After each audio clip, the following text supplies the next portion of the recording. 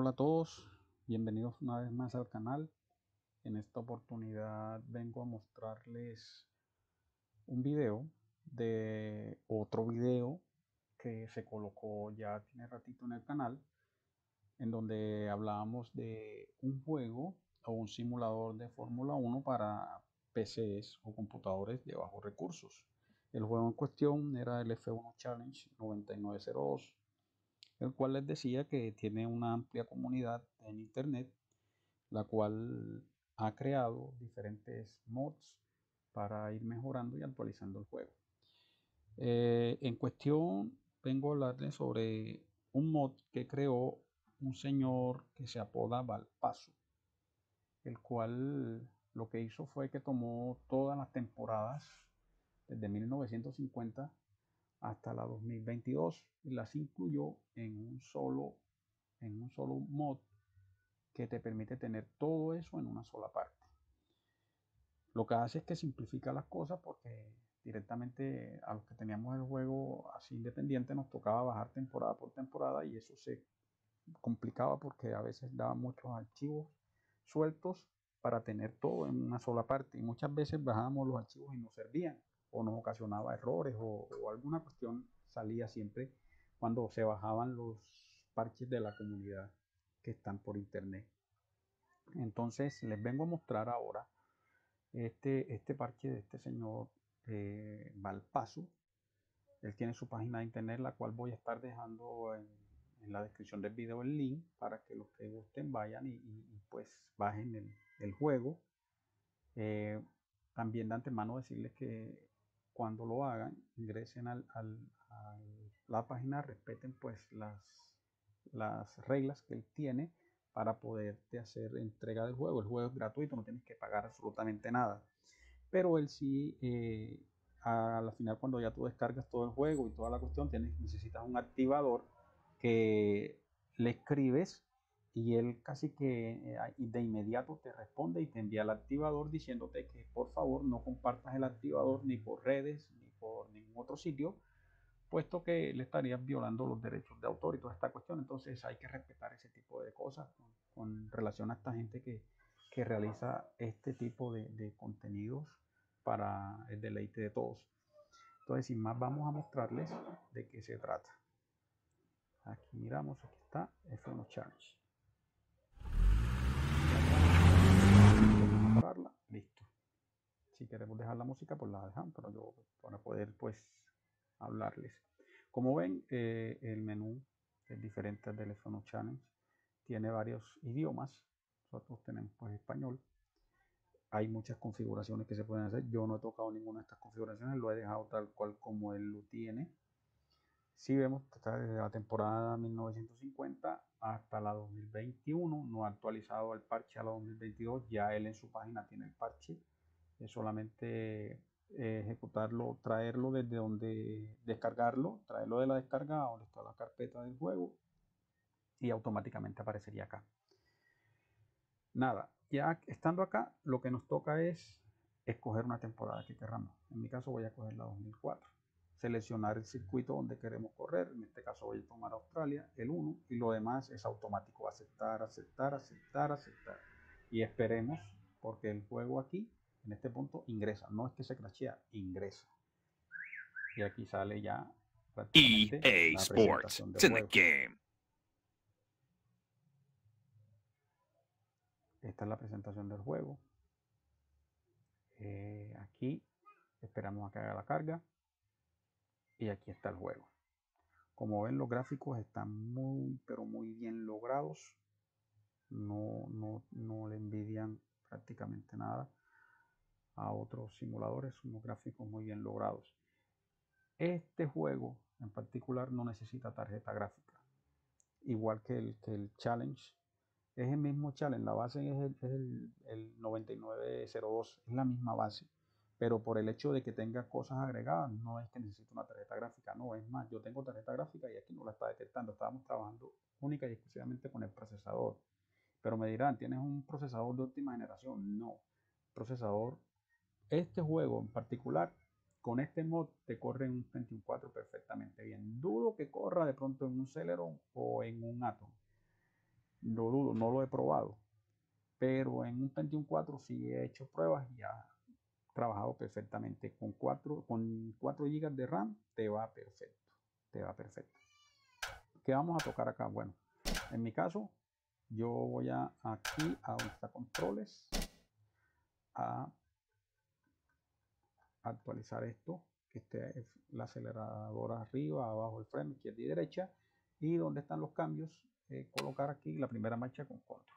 Listo me voy acá donde está la dificultad y voy a colocar el cambio automático. Aquí está activado muchas veces en algunos viene desactivado hay que activarlo porque bueno por lo menos los que tienen teclado para para no estar de pronto hundiendo otra tecla independiente. Miramos la pantalla los gráficos si se dan cuenta algunos están en completos todos están prácticamente en completo voy atrás voy atrás y selecciono lo que quiero hacer si es un día de pruebas, si es multijugador, si vas a estar en línea. Este juego permite hacer eso en línea. Es más, hay un campeonato en línea, eh, te permite hacerlo prácticamente online, ese campeonato. Hay un campeonato que es, puedes correr un gran premio, o varios, o una temporada, no sé, lo que quieras hacer, lo puedes hacer acá. Vamos en día de prueba, porque quiero hacer una prueba. Le damos a aceptar. Escogemos el circuito. Vamos a escoger este que está aquí. Si no estoy mal sería Bahrein. Y le damos a aceptar. Y aquí está la pantalla de carga. Aquí se está cargando el juego. Temporada 2004 F1 Challenge la base del juego es el F1 Challenge. Eso no cambia. El challenge no cambia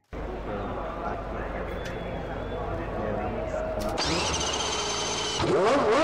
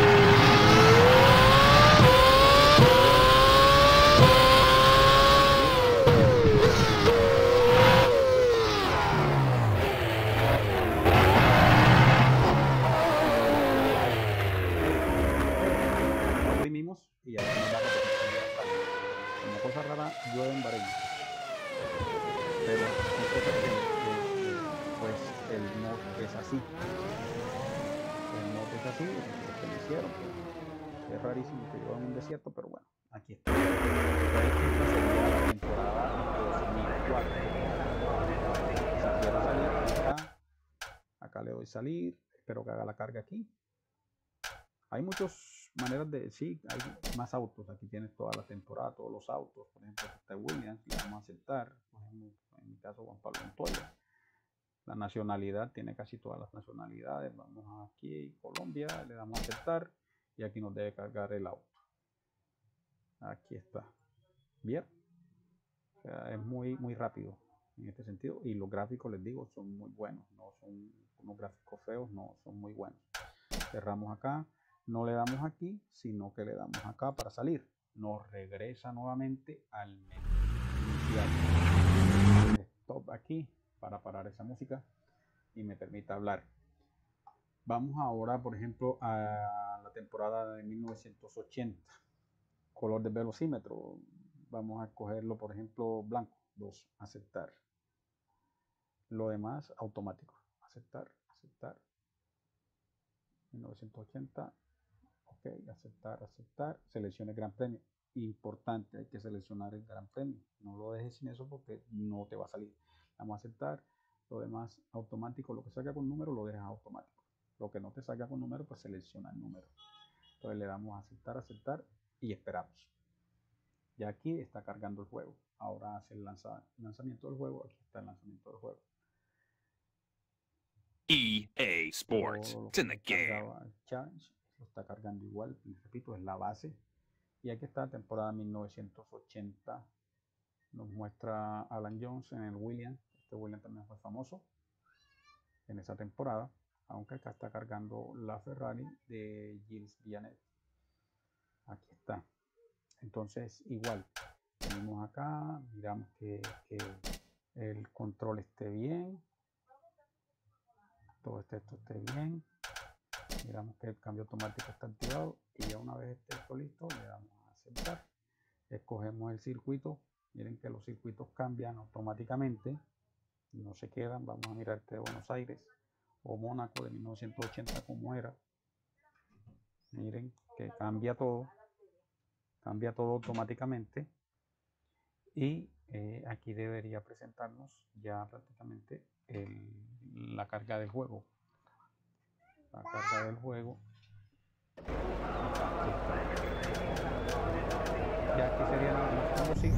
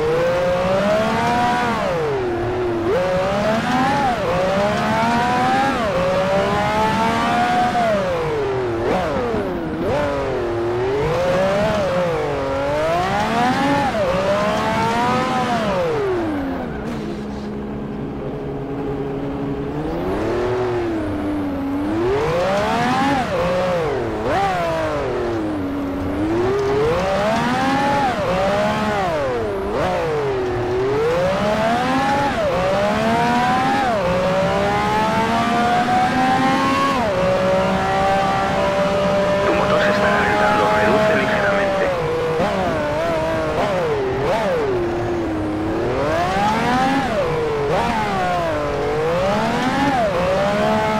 Listo, eso sería todo con esta temporada. Nuevamente quiero salir, espero que cargue, que cargue, y acá y aquí mismo. Listo, nos regresa al inicio del, del menú. Entonces, pues chicos, chicas, eso es todo por el video de hoy. Mostrarles este, este F1 Challenge eh, modiado. Voy a estar dejando en en la descripción del video el link para que los que quieran hacerse a este, a este mod, a este juego, lo hagan. Y de verdad que es bastante adictivo y es bastante disfrutable. Entonces, nada, agradeciéndoles una vez más el apoyo que le están dando al canal.